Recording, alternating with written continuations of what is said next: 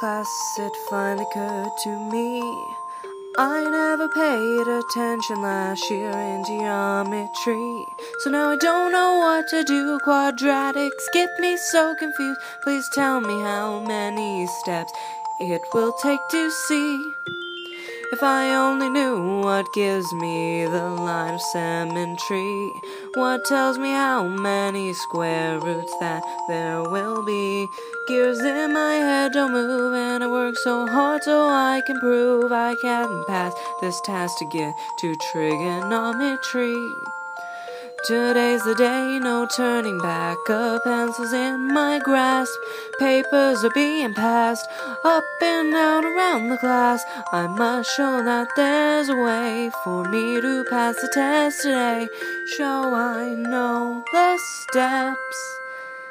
Negative b divided by 2a gives me the lines I need, so I will be okay.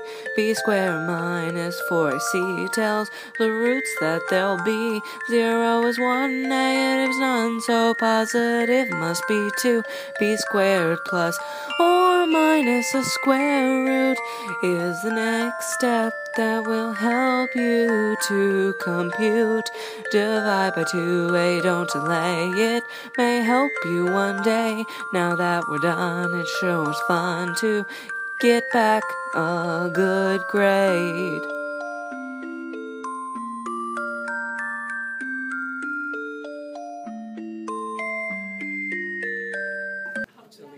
Yeah, because that, that last one was boring. Oh god.